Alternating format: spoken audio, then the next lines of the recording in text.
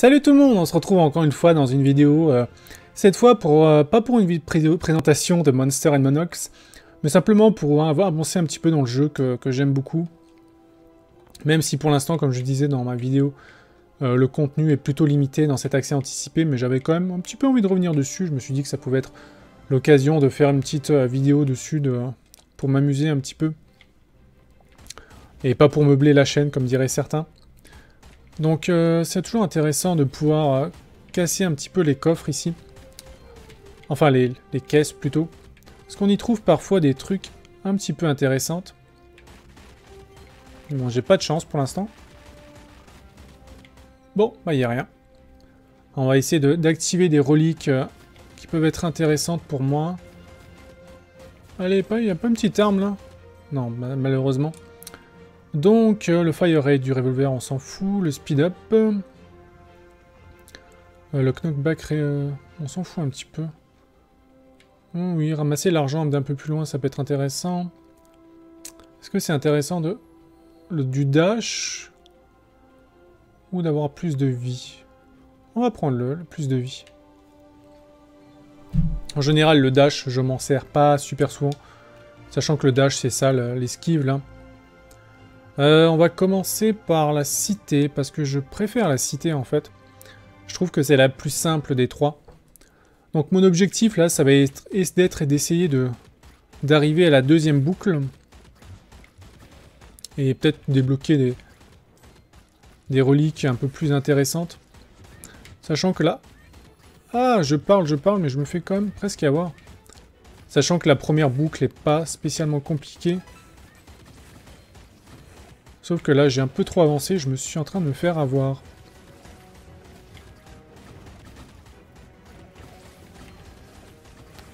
En fait, je parle, je parle et j'ai fait n'importe quoi.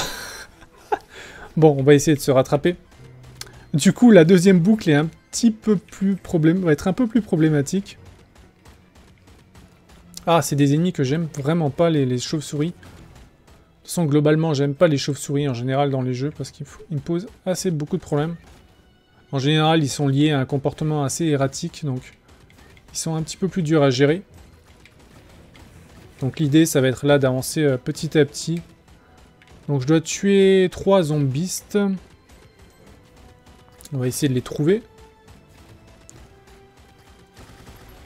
Euh, si je pourrais récolter un petit peu des armes intéressantes, je dirais pas non. Pour l'instant, ils n'ont pas été très généreux. Bon, évidemment, ramasser tout l'argent qui traîne parce que c'est très important. Puisque c'est grâce à ça qu'on va pouvoir améliorer les reliques et donc faire des meilleurs runs. Un coffre. Génial, le gun oil est intéressant parce que ça va augmenter ma... Ça va augmenter... Oh non, la grenade. Le lance-grenade, je l'aime vraiment pas. On va rester sur revolver. Ça va augmenter ma cadence de tir, le, gun oil. On va aller par là. Jusqu'à présent, j'ai pas encore vu de zombies. Les zombies, ce sont des... Euh, si je dis pas de bêtises, ce sont des loups-garous un petit peu plus difficiles à tuer. Euh, du coup, je parle et j'ai pas fait attention à la surcharge de mon revolver.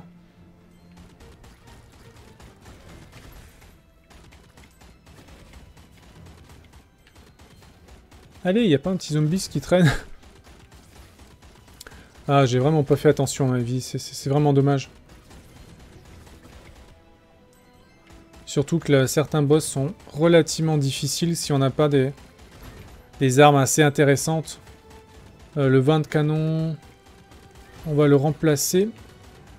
Enfin, on va remplacer mon lance-grenade par le vent de canon. Euh, si je me souviens bien, le vent de canon, c'est celui-là qui tire des boulettes devant lui, non? On va vérifier ça. Bon, je préfère encore le burst rifle.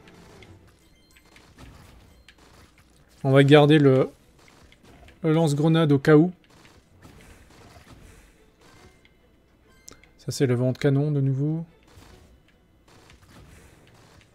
Évidemment, je dois essayer de pas trop Jouer avec la surcharge. Non, je veux garder mon revolver, moi. Ça peut être intéressant de, dégager les revolvers si on a vraiment une deuxième, arme intéressante. Mais sachant que le revolver ne, surcharge pas trop rapidement, il peut être intéressant de le garder si on trouve pas une deuxième arme qui vaille vraiment la peine.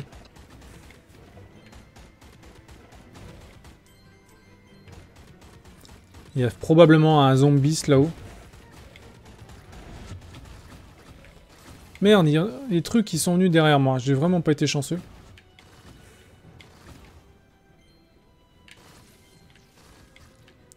Je fais vraiment pas attention à ce que je fais.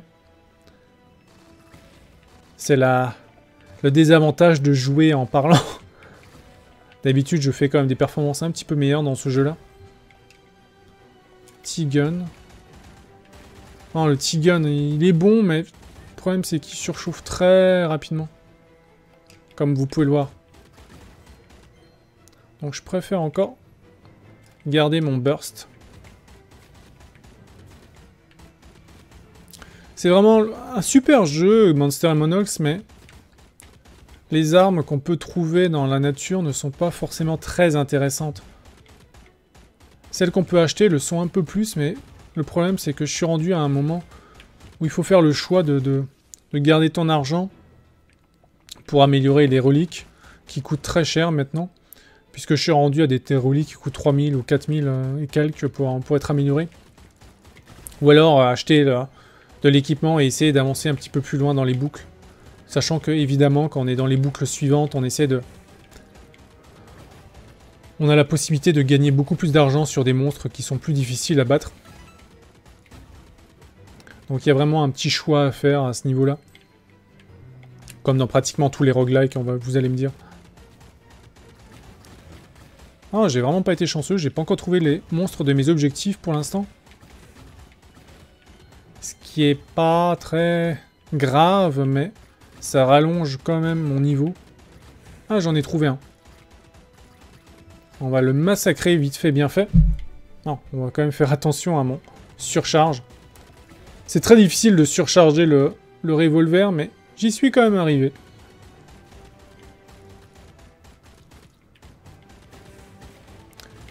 Il faudrait que je voie avec les développeurs, enfin, que je suive les développeurs un petit peu pour voir euh, quand est-ce qu'il y aura une mise à jour de...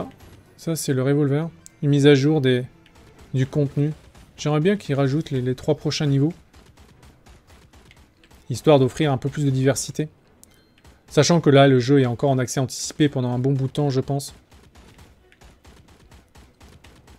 Après, c'est l'avantage de recevoir les codes à l'avance. Je peux quand même aller sur des jeux qui est... que le commun des mortels ne joue pas encore. Sachant que ce jeu-là, je joue quand même depuis un petit moment. Et qui vient tout juste de sortir dans son accès anticipé. comme j'avais pu vous le présenter déjà euh, il n'y a pas longtemps. Ah tiens, ça c'est un spreadshot, génial C'est un petit peu mon arme favorite dans ce jeu-là. Et j'ai bêtement pas encore trouvé de relique pour l'améliorer. Et j'en suis très très... Peiné. Sniff, sniff, sniff. Comme vous voyez, il est très efficace quand il y a plusieurs monstres. Ce qui n'est pas forcément le cas quand, quand il y a des gros monstres à tuer. Dans ce temps-là, j'aime bien avoir une autre arme un petit peu à côté. Sachant que là, j'ai le lance-roquette, enfin lance-grenade plutôt. Que je vais garder jusqu'à trouver un petit peu mieux. Mais le spread shot est très utile pour gérer une grande masse, comme ici. Aïe. Je devrais faire attention. Comme vous pouvez voir depuis tout à l'heure, j'utilise quasiment pas mon dash. Parce que de toute façon, il n'a aucune utilité. Enfin, il a son utilité, mais... Si on fait un petit peu attention et qu'on y va progressivement, de toute façon, je joue. C'est pas un jeu à scoring, donc ça sert à rien d'essayer de, créer des combos. Enfin, l'intérêt des combos, comme je le disais, c'est d'augmenter la barre de puissance, qui est la barre rouge en haut, qui nous permet d'augmenter de niveau et donc euh, de faire plus mal avec certaines armes. Mais la barre de puissance va surtout servir dans, dans les difficultés un peu plus élevées. Enfin, dans les loops un peu plus élevés. Ou contre les boss. Sachant que dans les niveaux normaux, on peut tout à fait se permettre de ne pas, de ne pas compter dessus. Il suffit d'être un peu prudent et on avance sans trop de difficultés. Peut-être un peu trop même. Mais bon, c'est sûr que si on veut jouer à... sur la rapidité, Fire Revolver, Spread Shot, on s'en fout. Je ramasse des reliques que j'avais déjà en fait. Il y a certaines reliques qui sont un petit peu plus rares que d'autres. Les reliques du, du Fire Rate, de, de la cadence de tir de certaines armes est loin d'être rare. Il y en a qu'on trouve assez fréquemment. Par contre, on n'en trouve pas beaucoup pour certaines armes un peu plus, euh, un peu plus touchées, on va dire. Ce qui est un petit peu dommage, mais bon. Sachant qu'on trouve pas beaucoup de... Le Bander Blues, c'est quoi déjà? Non. Non.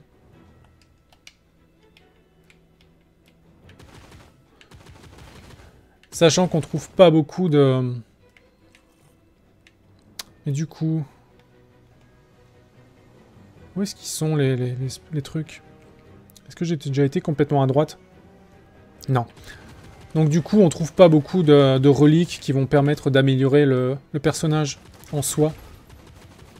Sachant que je sais même pas s'il y en a énormément en fait. Bon bah du coup, tu te caches où toi? Ça a dû être un petit coin où je suis pas encore allé. On va voir tout à droite. Là, c'est l'entrée principale. Je pense qu'en haut, j'étais là. Oui. Ça doit être en haut à gauche. Je crois que j'y suis pas allé. Ouais, c'est ça.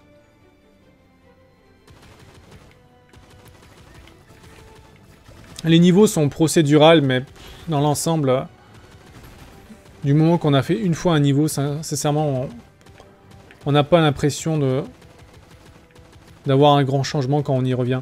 Évidemment, c'est pas possible de d'apprendre le niveau par cœur dans ce temps-là, mais sachant que les objectifs changent quand même un petit peu à chaque fois, on a quand même la possibilité de, de bien se renouveler, même si le jeu, fondamentalement, les bases du jeu ne changent pas vraiment. Mais c'est un genre de jeu que j'aime bien aller de temps en temps. De temps en temps. Ça me défoule. Ça permet de passer un petit peu le temps et de décompresser. Parce que oui, j'ai besoin de décompresser. J'ai d'ailleurs pas mal de jeux en ce moment que, que j'attends de pouvoir vous présenter. Qui sont encore en embargo. J'espère pouvoir bientôt vous les présenter. Je sais qu'il y en a un qui va perdre son embargo le, le 25 août. J'en ai un autre qui va perdre son embargo euh, le 30, je crois, ou le 29. Et qui sont assez fort intéressants, j'espère pouvoir bien vous les présenter.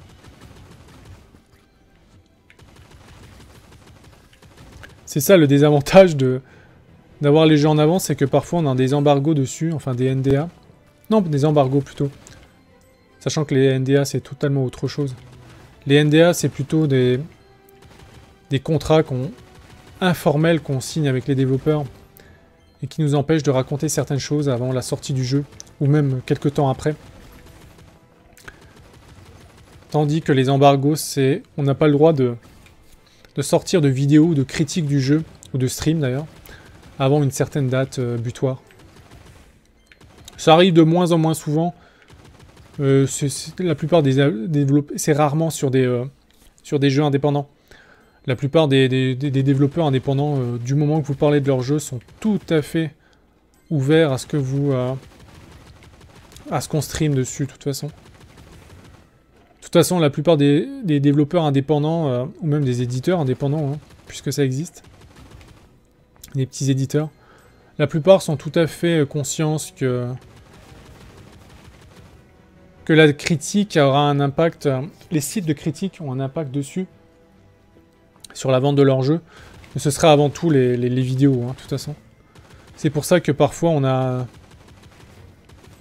On a le droit de streamer bien avant de, publier le speed up. Merde, je l'ai acheté C'est bien, c'est pour ça, bon tant pis. C'est pour ça que parfois on a le droit de, faire des vidéos bien avant la critique du jeu. Sachant que pendant la vidéo, on n'a pas le droit de donner notre avis sur le jeu, ce qui est complètement débile, mais bon. Ça nous permet quand même de vous présenter un petit peu le jeu dans une version d'aperçu ou de preview. Même si sur le fond c'est un peu la même chose. Même si c'est complètement la même chose. Même si la plupart du temps dans une version preview on va surtout vous montrer un petit peu le jeu. Bon. Les Super Slime Beasts. En tout cas mon deuxième... Euh, mon idée d'arriver dans le deuxième loop va un petit peu s'envoler, j'ai l'impression. Je vais quand même essayer d'aller le plus loin possible. L'idée, c'est au moins de, finir le, boss, histoire d'avoir un petit peu d'argent pour améliorer au moins une ou deux reliques. Ce serait déjà bien. Sachant que pour ça, il faudrait que je ramasse un peu plus d'argent.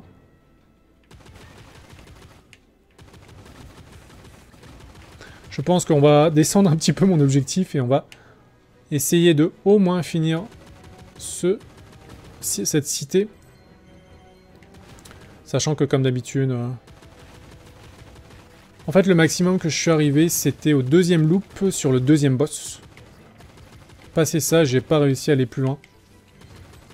Sachant que normalement, d'habitude, je perds mes vies quand même dans le deuxième loop. Je suis quand même plutôt rendu habitué au jeu, donc... Par contre, j'ai vraiment pas de chance avec les armes. Quoique j'ai trouvé le spread shot assez tôt, donc euh, ça me permet quand même de pas mal bien avancer. Sachant que le spread shot est assez efficace et on peut facilement gérer son, son cooldown. Mais j'aimerais bien une deuxième arme un petit peu plus... Euh, euh, efficace. Histoire de pouvoir gérer un petit peu plus et de faire des gros dégâts quand j'en ai besoin. Ce serait vraiment très agréable.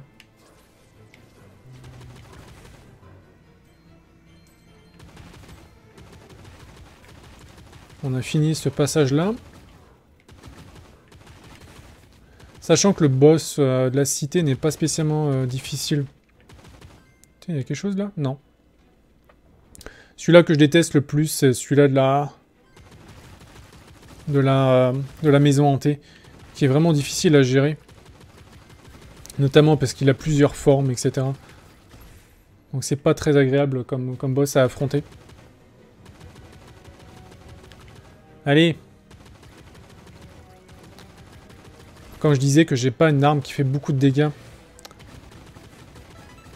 Là, ça m'aurait permis de, gérer plus facilement le slime. On va monter en haut, mais je pense que... Il n'y a pas grand chose là-haut.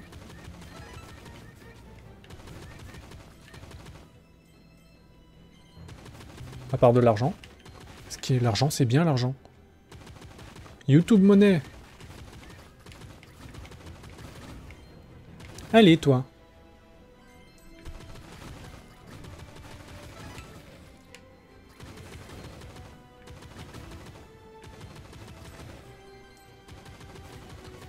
Ah, je suis vraiment pas chanceux sur les armes. J'arrête pas de faire tomber les mêmes armes depuis tout à l'heure quand je vous disais qu'il n'y a pas une grande variété dans les armes, malheureusement. Les armes qui ont un peu plus de, puissance, on les loot assez rarement, donc... Euh. C'est vraiment dommage. Si j'aurais pas fait l'erreur tout à l'heure d'acheter cette connerie de relique, qui me servait à rien de toute façon, parce que je l'avais déjà. En tout cas, je l'avais déjà débloqué, me semble. J'aurais quand même pu avoir un petit peu d'argent pour me permettre d'acheter une arme durant un loop. De toute façon, la plupart du temps, on va avoir, durant un, monde, trois niveaux quoi, on va avoir assez d'argent pour acheter soit une arme, soit pour améliorer euh, une relique. Ou en tout cas la moitié de l'argent pour améliorer une relique. Sachant que les reliques coûtent 1750 le premier niveau et 3000 le deuxième niveau, un truc comme ça.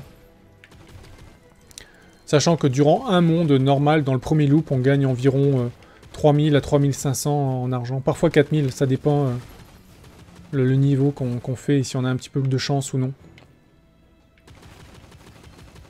Et surtout si on pense à tout faire en fait. Parce que parfois on réalise des objectifs et on n'a pas besoin de, finir tout le niveau. Ce qui est parfois une prise de risque un peu inutile, mais ça permet quand même d'engranger pas mal d'argent, notamment si on veut faire euh, augmenter un petit peu ses, capacités. Parce que c'est un peu euh. Euh, si on n'augmente pas ses capacités, notre partie d'après ne sera pas forcément meilleure, donc bon. Pour ma part, je préfère un petit peu prendre des reliques qui améliorent mon personnage pour l'instant. Parce que j'ai pas encore trouvé de reliques euh, sur des armes que j'apprécie particulièrement. Eh bien, j'ai de la chance avec les, tasses de thé. Bon, vous aurez compris que les tasses de thé, c'est ce qui améliore euh, ma vie. Hein. Enfin, qui augmente ma vie, plutôt. Ouh, je me suis fait prendre dans le coin, mais c'est pas grave. Que j'ai de toute façon des tasses de thé qui m'attendent bien au chaud là-haut. Donc je préfère un petit peu prendre des reliques qui améliorent mon personnage. Sachant que j'en ai pas débloqué énormément pour l'instant. Et je sais pas si on peut en débloquer d'autres en fait. J'ai le speed, le fait qu'on peut ramasser l'argent d'un peu plus loin. Le fait que si je prends des dégâts, je recule d'un petit peu moins loin. Ce qui est totalement inutile.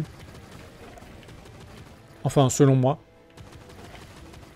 Après, peut-être que des experts de, Monster and Monox euh, pourront m'en apprendre un petit peu plus. Et si vous savez, si on débloque d'autres choses, n'hésitez pas à me le dire. À part des améliorations pour les armes. Ouh là là, je me suis fait prendre dans le coin. J'avais pas vu que ma vie était descendue à ce point-là. Ça, c'est... Ok. Ça me permet de dasher plus facilement. Tiens, l'arme là-bas m'intéresse. C'est le stack. C'est pas une mauvaise arme, mais c'est pas une bonne arme non plus. Je parle, je parle, mais je fais pas attention à ma vie. Je devrais faire un petit peu plus attention. Ah, fait chier. Non, il n'y a rien par là. Il y a encore un super slime à trouver. Je vais quand même ramasser tout l'argent que j'ai laissé ici. En général, quand il y a beaucoup d'ennemis, c'est qu'on laisse beaucoup d'argent. Peut-être que le super slime est dans le coin. On va faire attention à ces petits carnassiers. Ces petits carnassiers, ça me rappelle les, les robots qu'on avait dans la série euh, Tortue Ninja. Euh, les trucs euh, créés par Daxter, le, scientifique fou. C'est peut-être inspiré d'ailleurs.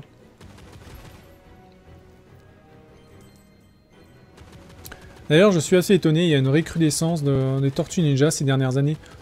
Peut-être à cause du film, mais aussi également de, je sais pas, il y, a une nouvelle mode de Tortue Ninja en ce moment qui, se fait. Notamment au niveau des jouets. Et c'est pas que des jouets. Ce qui est intéressant, c'est que moi j'ai grandi dans les années 80. Donc j'ai grandi avec le, dessin animé des Tortues Ninja et avec les films. Ah, le stack, attends, je les ai oubliés moi. Donc je suis grandi avec les Tortues Ninja et en ce moment, j'ai grandi avec des... Avec les figurines des années 80. Vous savez, celles qui, qui, sont ordinaires, où il y a juste euh, les armes, etc. Des Tortues Ninja avec Shredder et Splinter, qui avaient encore des, des costumes en tissu et des capes en tissu. Comme c'était le cas avec Batman d'ailleurs, la série des années 90. Et c'est cette série de jouets, ils l'ont ressorti dernièrement, j'ai vu ça dans un, dans, un magasin de jouets. Ils ont ressorti cette vieille série. Après, Bebop et Rocksteady sont légèrement différents, ainsi que Shredder. Ils sont plus articulés, etc. ils sont plus, euh, plus élancés et plus costauds. Mais j'ai vraiment pris plaisir à les retrouver, ces figurines. Sachant que je les avais tous durant mon enfance, mais comme d'habitude, hein, quand on est petit, on, pense pas à garder tout ça malheureusement. Ce qui est dommage, aujourd'hui, mes, mes enfants auraient sûrement apprécié de jouer avec ça. Et je vous avoue que ces, nouvelles figurines, enfin cette réédition des anciennes figurines me tentent beaucoup. Malheureusement, elles sont un petit peu au-dessus de mon budget. Mais bon. Peut-être qu'un jour, en vide-grenier, je retrouverai les, les figurines de mon enfance. Le problème, c'est que certains d'entre vous le savent peut-être pas, mais je vis au Québec. Je suis français, mais je vis au Canada, au Québec, dans la belle région du Québec. Le souci, c'est qu'ici, les, vides-greniers, c'est un petit peu différent euh, qu'en France. On a également des vides-greniers, mais ici, c'est plutôt euh, des ventes de garage. C'est-à-dire que les gens euh, annoncent à l'avance, à la mairie, etc. Enfin, ils s'inscrivent euh, pour la, vente de garage de leur, de leur ville.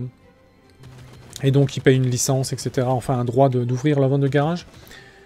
Et c'est pas comme en France. En fait, ça existe ici aussi, mais beaucoup moins. En France, ce sera surtout à un endroit précis, dans une place publique, dans une rue, etc. Donc dans un endroit prédéfini. Alors qu'ici au Québec, ça existe aussi, mais la plupart du temps, ça va être que les, gens vont pouvoir vendre devant leur maison. Ce qui complique un peu plus les choses parce que il faut déjà trouver l'endroit où sont les gens, même si la, liste, euh, la liste est publiée dans, le journal, euh, comme d'habitude, euh, évidemment. Mais ça complique quand même un peu plus les choses et... D'une certaine manière, on a un petit peu plus de chances de trouver des trucs, mais en même temps, il faut pouvoir se déplacer, ce qui est un petit peu embêtant. Et ici, on trouve pas beaucoup de figurines, malheureusement. Sachant que je vis quand même dans le nord du Québec. Dans une grande ville quand même. Mais je vis dans le nord du Québec, ce qui fait que... On trouve quand même beaucoup moins de choses que si on serait à, Montréal ou dans les, périphéries. Ou dans d'autres grandes villes. Sachant que ma ville est quand même un petit peu moyenne, donc... Euh, j'ai pas beaucoup de chance. C'est notamment pour ça que ma collection de jeux vidéo, que j'ai dû refaire ici, puisque j'ai des jeux pâles, des consoles pâles. Et évidemment, j'ai été obligé de refaire un petit peu ma mon set de consoles ici en version NTSC nord-américaine. Et j'ai beaucoup de mal à trouver certaines consoles. J'ai d'ailleurs pas encore de NES parce que les prix sont assez affolants ici. Bon, vous allez me dire maintenant en Europe, en France, les, prix sont aussi un peu euh, devenus n'importe quoi sur le rétro, mais c'est, ça commence ici à, aussi, ici à devenir un petit peu n'importe quoi. Après, heureusement, j'ai de la famille qui, qui connaît ma passion pour le jeu vidéo et qui, de temps à autre, euh, me ressort des trucs qu'ils arrivent à trouver ou à dénicher. J'ai notamment une tante, là, qui va peut-être me donner une, une NES. En tout cas, je l'espère. En tout cas, j'ai tout ce qui est Nintendo, on n'a pas trop de mal à le trouver, même si les jeux commencent vraiment à se faire rares. Il faut commencer à payer un petit peu le prix sur internet pour essayer de trouver quelque chose. C'est pour ça que principalement, moi, je, me, je vais essayer de me concentrer sur les jeux japonais, en fait. Sachant que la plupart ne sont pas trop rares et il y a quand même moyen de, de trouver des jeux qui ont bercé mon enfance et qui n'ont pas besoin de, de, lire le japonais de toute façon. Notamment tout ce qui est les jeux de plateforme. Et comme je dis ici, il y a certaines consoles qui sont dures à trouver. Notamment tout ce qui est Sega, qui est pas très répandu ici. La, Genesis, la Master, pardon, la Mega Drive, se trouve un petit peu quand même. Mais tout ce qui est, euh, par exemple, Dreamcast et Saturn est déjà difficile à trouver en France, alors je vous laisse imaginer ici. J'ai quand même réussi à me constituer une base de console. Les jeux, je verrai ça après, c'est pas, pas primordial pour l'instant. J'ai pas mal de jeux, je devrais d'ailleurs peut-être vous faire une vidéo un jour sur ma collection. Mais pour l'instant, j'essaie surtout de me constituer la, base des consoles Nintendo et Sega. Euh, j'ai déjà une, Master System et une Genesis. Il va me manquer la Saturn et la Dreamcast. Sachant du côté de Nintendo, je les ai toutes à part la NES. Ah, et la Nintendo 64, qui est pas spécialement difficile à trouver, mais je pas... J'ai pas non plus couru après pour l'instant. Du coup, je parle, je parle, mais... J'ai beaucoup de difficultés avec ce fichu boss. Je vais probablement y perdre ma vie. Donc mon atteignage du, deuxième loop est déjà complètement raté.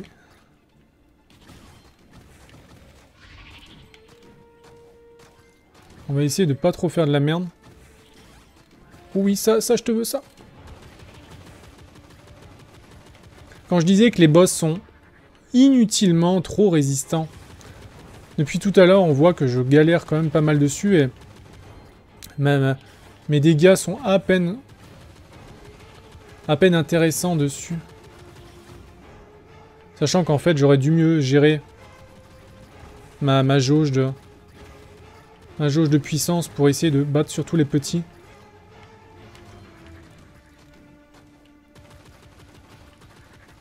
C'est peut-être pour ça que je galère aussi pas mal.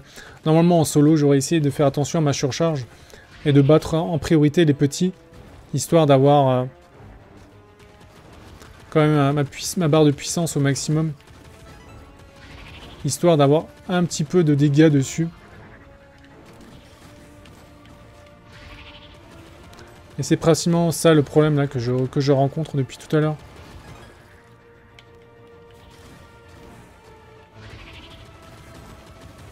Histoire de ramasser la vie là.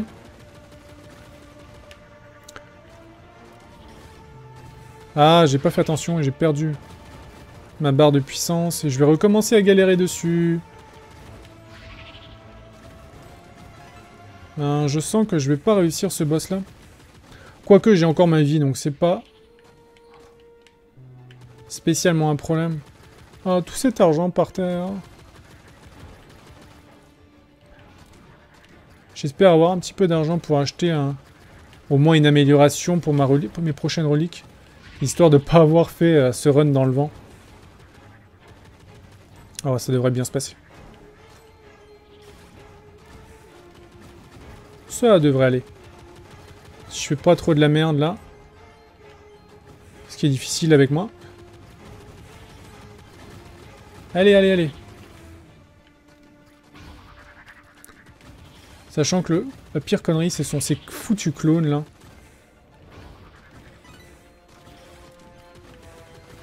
Car évidemment, il faut trouver le bon clone. Yes Voilà, ça c'est fait. On va ramasser l'argent qui traîne. Oh, 3100, je peux quand même acheter un bon petit truc. On va essayer de voir s'il n'y a pas des trucs qui traînent dans les coffres. Enfin, je dis des coffres, mais c'est des caisses. Théoriquement, c'est des bois et c'est des planches.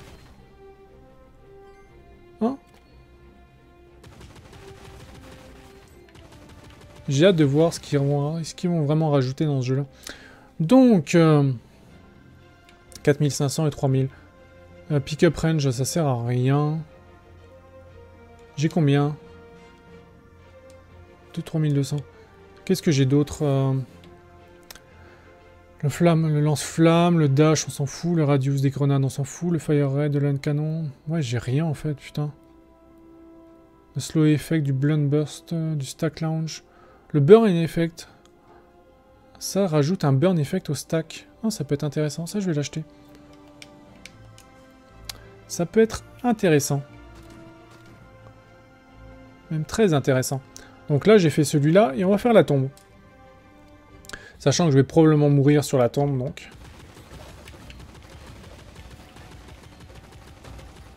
J'ai peu de chance d'atteindre le deuxième loop. J'y crois moyennement, pour vous, tout vous dire. Donc il faut que je tue les, Dark Pharaoh. Ce qui est ce truc-là, en fait. Faut que je fasse attention de ne pas activer trop de monstres.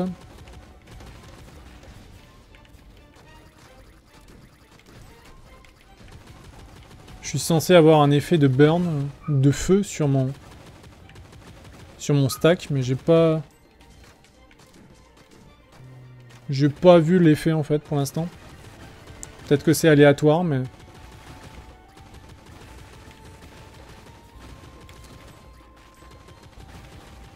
Ce que j'aurais aimé en fait dans Monster Monox, c'est un, c'est un, bénéfice un petit peu plus persistant autre que les reliques. Ça aurait été intéressant, notamment peut-être de débloquer des personnages ou ce genre de choses. Ça viendra peut-être, c'est pas un souci vu que le jeu est encore en accès anticipé, mais j'aurais quand même aimé avoir un peu plus de choses à débloquer, plus que les reliques. Des costumes ou ce genre de choses, ça aurait été amusant.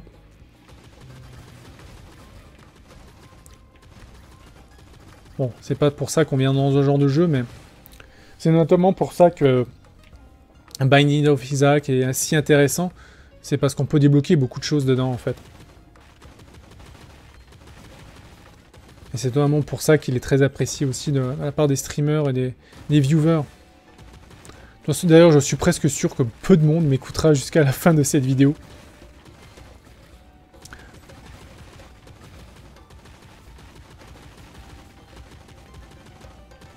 Ah, j'ai vraiment pas de... J'aime pas... Ah bah, je suis mort. J'ai pas fait attention à ma vie et je suis mort. J'aime pas spécialement le... les tombes parce que... c'est des niveaux, c'est un niveau, c'est des niveaux très, euh, très exigus. Et parfois les monstres sont planqués dans, dans des coins difficiles euh, d'accès. Ce qui est un petit peu fatigant. Bon, ça c'est la sortie. Ah, les, les scorpions tirent de vraiment loin. Heureusement, ils tirent pas longtemps. Ah Évidemment, j'ai activé le pharaon noir. Ça va me poser quelques problèmes, ça. Ah, j'ai fait sauter quelque chose. Ah, toi, tu tombes à pic. Je crois qu'il y en avait encore un plus haut. Faut que j'y pense. On va essayer de pas se laisser avoir par ça. Ce serait dommage de mourir là-dessus. Le problème, c'est qu'il y a plein de scorpions en haut qui, vont me, qui me font un petit peu chier. Sachant que les serpents là en bas tirent aussi. Bon, on va chercher ceci. On va essayer d'avancer par en haut.